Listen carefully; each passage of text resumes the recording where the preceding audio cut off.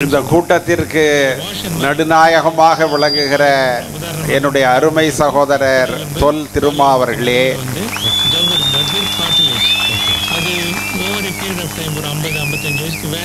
இந்த நிகழ்ச்சியில் கலந்து கொண்டு ஒரு சிறந்த உரையாற்றிய அகில இந்திய காங்கிரஸ் கட்சியினுடைய செயலாளர் ஸ்ரீவல்ல பிரசாத் அவர்களே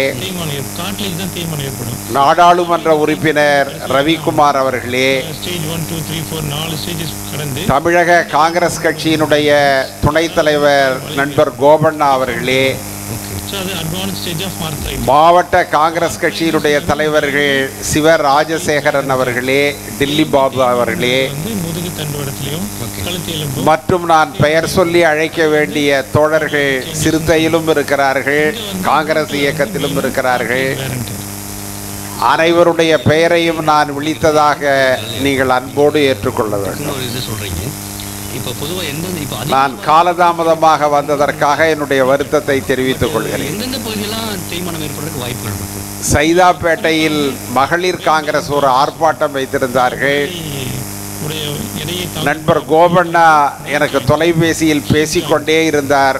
உடனடியாக வரவும் உடனடியாக வரவும் என்று. தேய்மானம் வரும் முழங்கால் முட்ல தேய்மானம் வரும். வன்னி அரசு அவர்களும் பாவரசு அவர்களும் தொடர்ந்து தொலைபேசியில் வந்து கொண்டிருந்தார்கள். ஒரு நேரத்தில் கோபண்ணா கொஞ்சம் வருத்தமாக என கூட்டமே முடிகிற நேரம் கலைந்து விடுமோ முடிகிற நேரமோ என்கின்ற அச்சம் இருக்கிறது. உடனடியாக அதை முடித்து கொண்டு வாருங்கள் என்று ஆர்த்ரைட்டிஸ் நான் அப்போ அவர்கிட்ட சொன்னேன். அண்ணன் திருமா மேடையில் இருக்கிறாரா என்று கேட்டேன். இதெல்லாம் வந்து இருக்கிறார் என்று சொன்னார். பதட்டப்படாதீர்கள் நாளை இரவு எட்டு மணி வரை அவர் முன்பாக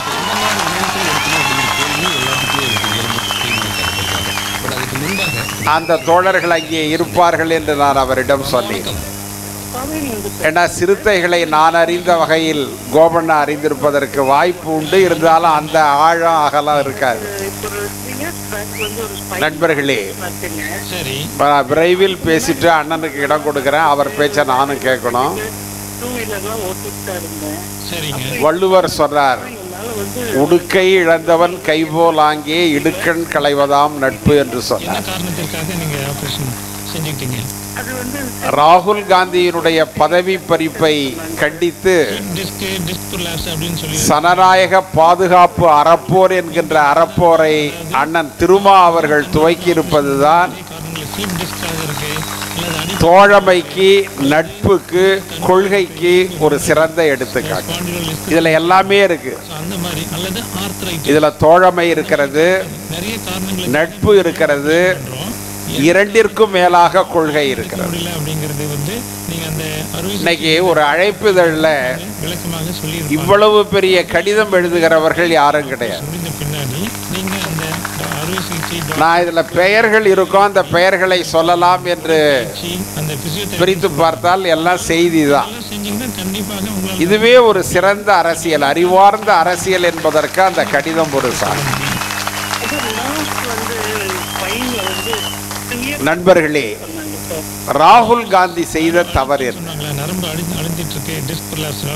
நாடாளுமன்றத்தில் பேச வேண்டும் என்கிறார். பேசாதே என்று அவரை சொல்கிறார் அதுதான் பிரச்சனை. நாங்கள் வந்து இன்ஸ்ட்ருமெண்டேஷன் இன்னைக்கு மோடிக்கு இருக்கிற ஒரே பிரச்சனை என்னன்னா ராகுல் காந்தி நாடாளுமன்றத்தில் பேசக்கூடாது என்பதுதான். பொதுவெளியில் எவ்வளவு குற்றச்சாட்டுகளை சொன்னாலும் பிரதமர் பதிலளிக்க வேண்டிய அவசியம் இல்லை. யாராவது கட்சிக்காரவங்க பதிலளிச்சுவாங்க வாய்ப்புகள் அதிகம் அதற்கு நீங்க அறுவை சிகிச்சை ஆனா நாடாளுமன்றத்தில் அவர் கேட்கக்கூடிய கேள்விகளுக்கு பிரதமர் பதிலளித்தே தீர வேண்டும். அது பதிலளித்தால் பதிவாக மாறும். எனவே அவர் அச்சப்படுகிறார்.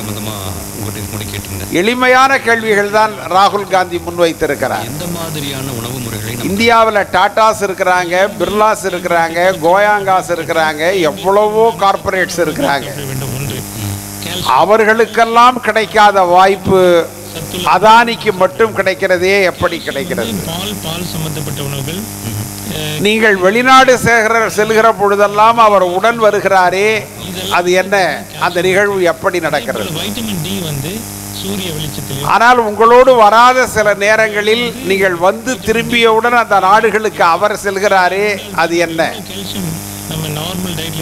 நீங்கள் எந்த வெளிநாட்டிற்கு சென்றாலும் அந்நிய மூலதனத்தோடு வருகிறீர்கள். ஆனால் அந்த மூலதனம் எல்லாம் அதானிக்கு போகிறது.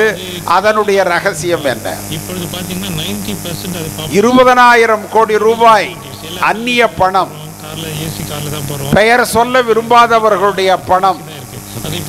சில போலியான கம்பெனிகளுடைய பெயரில் அதானியிடம் வந்திருக்கிறது. அந்த பணத்தை கொடுத்தவர்கள் யார்? இந்த மாதிரி தான் எல்லாம் எடுக்கிறாங்க. அதானி இந்திய ராணுவத்திற்கு துணைப் பொருட்களை தயார் செய்து கொடுக்கிறார். அந்த நிறுவனத்துல சீனர்களுடைய பங்கு இருக்கிறது. அப்படி என்றால் இந்தியாவினுடைய ராணுவ ரகசியங்கள் சீனாவிற்கு சென்று விடாதா? ஏன் பாதுகாப்பு அமைச்சகம் அதற்கு எதிராக கேள்வி கேட்கவில்லை? செடிகளுக்கு ஸ்டார்ச்சுக்கு சூரிய ஒளி வேணுமோ அதே மாதிரி நமக்கும் கண்டிப்பா ஸ்டேட் வங்கியும் இந்திய ஆயுள் காப்பீட்டு கழகமும் ஒரு பெரும் பங்கை அதானியினுடைய நிறுவனத்தில் பதிவு செய்திருக்கிறார்கள். அது என்ன? அதானிக்கு மட்டும் அவ்வளவு சிறப்பு அவருக்கு மட்டும் அவ்வளவு தொகை ஏன் சென்றது? எல்லாவற்றுக்கும் மேலாக தொழிலாளர்களுடைய வருங்கால வைப்பு நிதி ப்ராவிடென்ட் ஃபண்ட் அதிலிருந்து ஏராளமான பணத்தை அதானியினுடைய கம்பெனிகளில் முதலீடு செய்திருக்கிறீர்கள். எப்ப செஞ்சிருங்க? அவருடைய நாற்பது சதவிகித பங்குகள் கீழே வீழ்ந்த பிறகு நீங்கள் கொடுத்திருக்கிறீர்கள். ஏன்னா அவரை பாதுகாப்பதற்காக.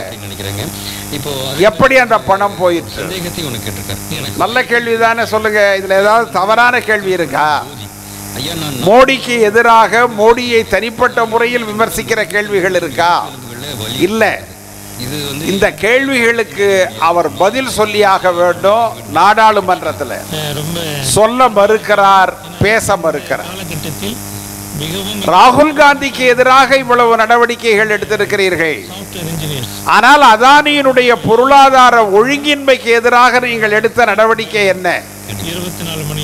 ஒரு விவசாயி டிராக்டர் கடனை அடைக்கவில்லை என்றால் பத்திரிகைகள் அந்த அந்த வங்கி விளம்பரம் கொடுக்கிறார்கள். கடன் அடைக்காதவர்களுடைய பெயர்கள் எல்லாம் அதுல வருகின்றன ஏன்னா பெயரை விளம்பரம் செய்தால் அவர்கள் அசிங்கப்படுவார்கள் சங்கடப்படுவார்கள் பணத்தை கட்டி விடுவார்கள் என்று சொல்லி குறைந்தபட்ச விவசாயிகளுக்கு எதிராக கூட வங்கிகள் செயலாற்றுகின்றன.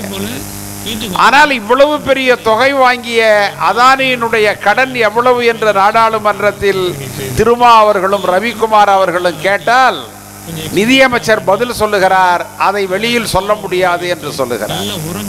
நாடாளுமன்றத்தில் சொல்ல முடியாத ரகசியம் ஒன்னே ஒண்ணுதான். அது இந்திய ராணுவத்தை பற்றிய ரகசியம். மற்ற எல்லாவற்றையும் அவர்கள் சொல்லுதல் வேண்டும். ஏன்னா ஜனநாயகத்தினுடைய தொட்டில் நாடாளுமன்றம். நாடாளுமன்றத்திற்கு எல்லாம் தெரிய வேண்டும். நாடாளுமன்றத்திற்கே மறுக்கிறீர்களே என்ன காரணம்? இதுதான் நம்முடைய கேள்வி. இந்த இந்த கேள்விகளை ராகுல் காந்தி கேட்டால் எதற்காக மோடி அச்சப்படுகிறார்? இன்னைக்கு வந்து ராகுல் காந்தியினுடைய பதவி நாலரை லட்சம் வாக்குகள் வித்தியாசத்தில் அவர் வெற்றி பெற்றார். வித்தியாசமே நாலரை லட்சம் வாக்குகள். ஆனா அவரை நீங்க வந்து அந்த பதவி செல்லாது என்று சொல்வதற்கான காரணம் என்ன? என்ன அச்சம்? அதானிக்கு எதிராக எடுக்காத நடவடிக்கை மற்ற ஊழல்வாதிகளுக்கு எதிராக எடுக்காத நடவடிக்கை இன்றைக்கு ராகுல் காந்தியினுடைய பெயரால் எடுக்க வேண்டிய அவசியம் என்ன? அதை நீங்கள் விளக்க வேண்டும். நண்பர்களே இந்த கேள்விகளுக்காகத்தான் இன்றைக்கு இந்தியா முழுவதும் அந்த கேள்விகளுக்கும் அதற்கான பதில்களுக்குமாக எதிர்பார்த்து நிற்கிறார்கள். இது ஒரு மிகப்பெரிய ஜனநாயக போர். ஜனநாயகத்தை பாதுகாக்க வேண்டும் என்பதற்காக நடத்தப்படுகிற போர். ஏன்னா சர்வாதிகாரிகள் தங்களுக்கு சிரமம் வருகிற பொழுதெல்லாம் கடுமையான அடக்குமுறைகளை ஏவுவார்கள். அது ஹிட்லராக இருந்தாலும் முசோலினியாக இருந்தாலும் இராணுவ சர்வாதிகாரமாக இருந்தாலும் உலகம் முழுவதும் அது நடந்திருக்கிறது. ஹிட்லர் கூட தேர்தல் மூலமாகத்தான் ஜெர்மனியில பொறுப்பிற்கு வந்தார். ஆனால் பிற்காலத்தில் அவர் ஒரு மிகப்பெரிய சர்வாதிகாரியாக மாறினார். இன்னைக்கு அதுதான் இந்தியாவில் நடக்குது. தேர்தல் மூலமாக மோடி வந்தாலும் கூட ஹிட்லரை போலவே ஒரு சர்வாதிகாரத்திற்கு அவர் வித்திடுகிறார். நண்பர்களே சர்வாதிகாரம் வேகமாக வரும். வீரியமாக இருக்கும். அடக்குமுறைகளை ஏவிவிடும். ஆனால் குறிப்பிட்ட காலத்திற்கு பிறகு வரலாற்றில் அது நிலை பெற்றதாக சரித்திரமே கிடையாது. உலகத்துல எந்த சர்வாதிகாரியும் நீண்ட காலம் ஆட்சி செய்ததாக சரித்திரம் கிடையாது. ஆனால் ஜனநாயகம் அப்படி அல்ல. அதே ஜெர்மனியில இன்னைக்கு ஜனநாயகம் வந்திருக்கிறது. அதே இத்தாலியில இன்னைக்கு ஜனநாயகம் வந்திருக்கிறது. எல்லா இடங்களிலும் ஜனநாயகம் தான் தழைக்கும். இன்னைக்கு இதற்கு எதற்கு சனநாயக பாதுகாப்பு அறப்போர் என்று அண்ணன் பெயரிட்டிருக்கிறார் என்று சொன்னால் ஒரு இது தனி மனிதருக்கு எதிரான அடக்குமுறை அல்ல. ஒரு அமைப்பிற்கு எதிராக சுதந்திரமான அமைப்புகளை ஒவ்வொன்றாக அழிக்க வேண்டும் என்பதற்காக நாளைக்கு கேள்வியே கேட்பதற்கு ஆட்கள் இருக்கக்கூடாது என்பதற்காக இந்த அநியாயங்களை மோடி அரசு துவங்கி இருக்கிறது. என்னுடைய அனுபவம் என்னுடைய கருத்து நான் அறிந்த உலக வரலாற்றில் இது இன்னும் அதிகமாகுமே ஒழிய இது குறையாது. மோடி ஒரு ஆட்டம் போட்டு தான் நிற்பார். அது வரைக்கும் அவர் போவார். தன்னுடைய சொந்த கட்சியையே மீறி கூட அவர் போக தயார். அதுதான் நடக்க போகிறது. நாம் முதலில் விழித்து கொண்டோம். தமிழகத்தில் இந்த அறப்போரை விடுதலை சிறுத்தைகள் துவக்கி இருப்பதற்காக நான் பாராட்டுகிறேன். உங்களுடைய முயற்சி வெல்ல வேண்டும் என்று நான் கேட்டுக்கொள்கிறேன். இது தோழமைக்கு மட்டுமல்ல கொள்கை செம்மலாக நீங்கள் கருதப்படுகிறீர்கள். ஒரு மிகப்பெரிய கொள்கைக்காக இன்றைக்கு இந்த விடுதலை சிறுத்தைகள் இயக்கம் நிற்கிறது. ஸ்ரீவல்ல பிரசாத் பேசுகிற பொழுது அதை கோடிட்டு காட்டினார். ஏன்னா அவர் டெல்லியில எல்லாரோடும் பேசக்கூடியவர். இன்றைக்கு இந்த இடத்துல நடைபெற்ற பல்லாயிரம் பேர் கலந்து கொண்ட ராகுல் காந்திக்கான இந்திய உரிமைகளை பெற்றுத்தரக்கூடிய இந்த மாபெரும் அறப்போராட்டத்தை பற்றி டெல்லியிலும் பேசுவதற்காகத்தான் இன்றைக்கு ஸ்ரீவல்ல பிரசாத்தை நாங்கள் இங்கே அழைத்து வந்திருக்கிறோம். திருமா அவர்களுக்கும் அவருடைய தோழர்களுக்கும் நான் நன்றியும் பாராட்டும் சொல்லி விடைபெறுகிறேன். நன்றி வணக்கம்.